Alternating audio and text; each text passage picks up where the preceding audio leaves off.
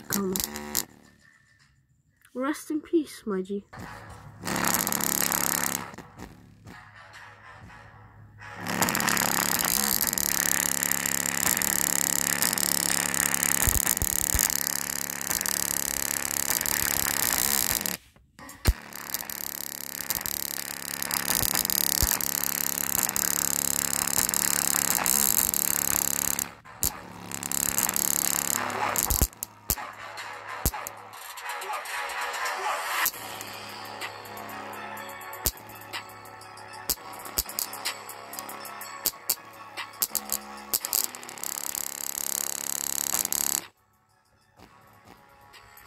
This mad excursion.